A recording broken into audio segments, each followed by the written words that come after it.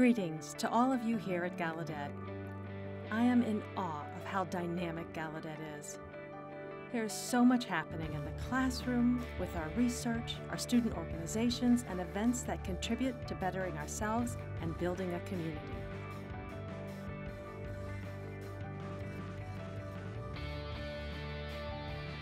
On April 8th of 2016, Charter Day, we celebrated President Lincoln signing the charter establishing a college for deaf people. This single event represents a recognition that deaf people can attain a college education through learning in sign language. This legacy has continued through today. Gallaudet over the years has led the way to the recognition of language, American Sign Language, and deaf culture. Today, science has caught up to what we've known all these years. Several weeks ago, I released a paper entitled The Myths of Language Acquisition. I wanted to put an end to this misconception of learning language. A group of people continue to argue that deaf children learn language better if exposed to listening, with what little hearing they have, and that it's important to expose them to sound and spoken language first, and introduce sign language later.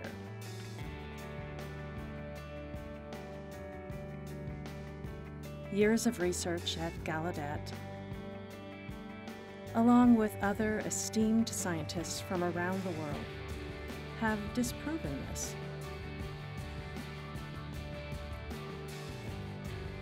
We, as deaf people, have the full benefit of learning language through our eyes, through American Sign Language, here in the United States.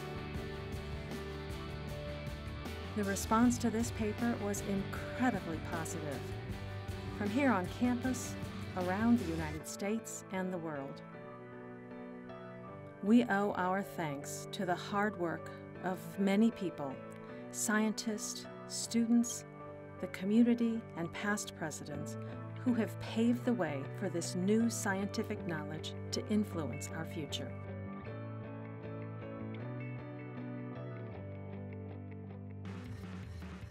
Let me call this a vision for our future.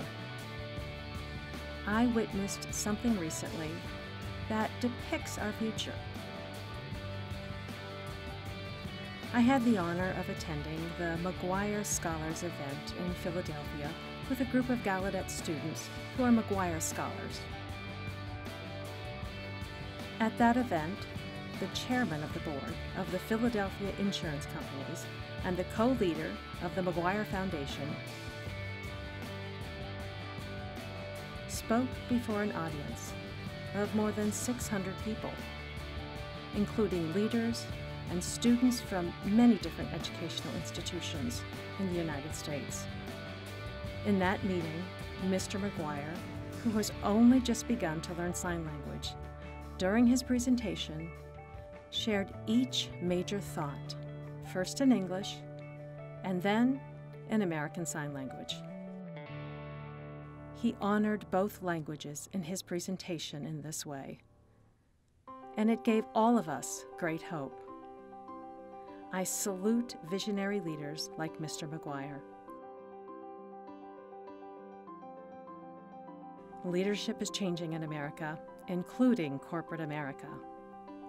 This country is becoming more open to different possibilities than ever before. This is our future.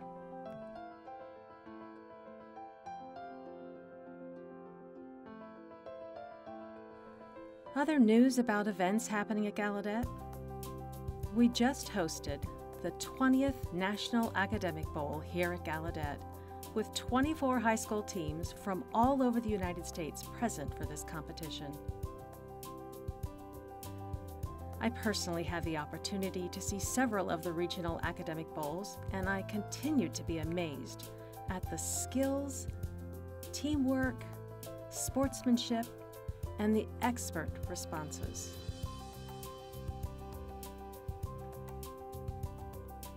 We all watched together. The audience was impressed with students answering questions quicker than they could even be read. I'm not sure how they did that.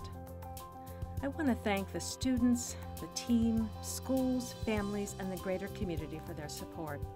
I want to especially thank the staff and all the Regional Center offices for arranging for this competition. We couldn't be more proud of these future generation students. I hope many will attend Gallaudet someday. One highlight of the Academic Bowl was a visit from Gallaudet's own Nyle DiMarco when he talked with the students and the community. We are very excited because of his leadership vision, and commitment to our future young deaf children from all over the world. We know Nyle's visit was very close to his upcoming competition in Dancing with the Stars. Nyle, we are rooting for you in this competition. We hope that you'll bring home the Mirror Ball Trophy from Dancing with the Stars. And know that you have all of our support. Good luck.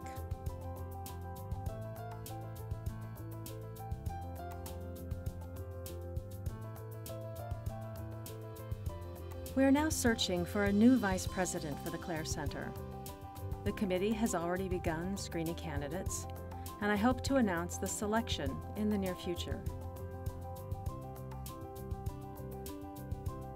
Did you know that there's a traveling exhibit of one of Shakespeare's original folios? Gallaudet bid for the opportunity to host this, we outbid other competing universities here in the Washington, D.C. area. I am thrilled and proud. Under the direction of Gallaudet's professor Jill Bradbury, we see many activities coming related to Shakespeare and his work and the perfect marriage of that with American Sign Language. The English language collaborates beautifully with ASL. Thank you for watching. I'll have more updates for you after our upcoming commencement. Remember, here at Gallaudet, we connect, discover, and influence together.